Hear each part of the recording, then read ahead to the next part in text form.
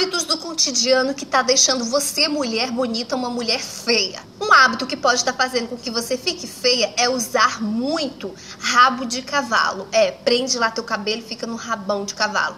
É bonitinho? É bonitinho, mas se você faz isso com muita frequência, esse hábito de colocar o cabelo preso faz quebrar muito o cabelo, faz cair muito o cabelo. Então, uma hora, minha querida, seus cabelos vão começar a cair, você vai começar a ficar com calvície e pode ser que no futuro essa calvície pode se agravar de uma forma muito intensa. Beber muito leite pode te deixar feia. Sério?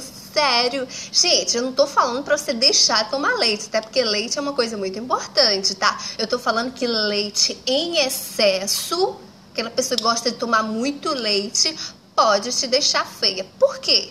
A sua composição possui muitos hormônios androgêneos. Esses hormônios, eles podem te deixar feia, por quê? Porque eles fazem com que algumas glândulas do nosso corpo, elas fiquem mais ativas, provocando, por exemplo, muito sebo, tá? Sebo na pele, sebo no cabelo. Essas glândulas também pode fazer com que o seu rosto ele fique com aspecto mais de cara de velha mesmo, cansada, porque ele vai abrir mais os poros da sua pele, tá bom? Então é interessante que você tome leite na medida certa, nada de exagerar, tá bom?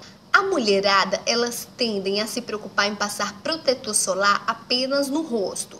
Gente, você não envelhece só no rosto. É super importante que você também passe protetor solar nas mãos, no colo, no pescoço, tá? Porque só o que você vê é gente por aí com o rosto assim bem bonitinho, quando vai olhar pescoço tá tudo assim horrível, né? De manchas, de envelhecimento. Então você não entende por quê o rosto não o rosto fica desproporcional para o colo. Então, passe em tudo, tá? Passe nas mãos, passe no colo, passe no rosto por completo. Outra coisa, sentar-se com pernas cruzadas pode estar te deixando feia. Ah?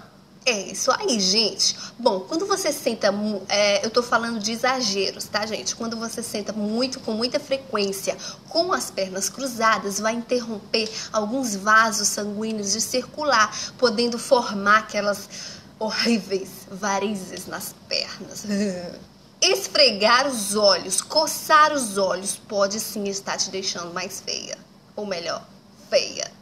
Este ato, ele faz com que caiam os cílios de vocês, tá? À medida que você vai coçando os seus olhos, esses olhos, eles tendem a ficar mais envelhecidos. Eles envelhecem, essa região dos olhos vão envelhecer de uma forma mais rápida, deixando um olhar mais cansado, mais caído e também proporcionando mais rugas. Existe até uma técnica para você que, ai, mas meu olho tá coçando, o que, que eu vou fazer? Existe uma técnica que diz assim, quando seu olho estiver coçando, não coce. Você vai fazer seguinte: olha para algum lugar por 20 segundos, um lugar, uma, alguma coisa que você escolhe que esteja longe de você.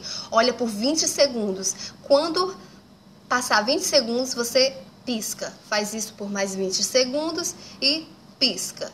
E isso vai passar coceira. Vou fazer esse teste aí para ver se dá certo. E é isso aí, lindona! Se você gostou do vídeo, dá um joinha, porque o joinha dá muita força. Deixa o um comentário aqui, que eu amo ler os comentários de vocês, tá? Um super beijão e até a próxima!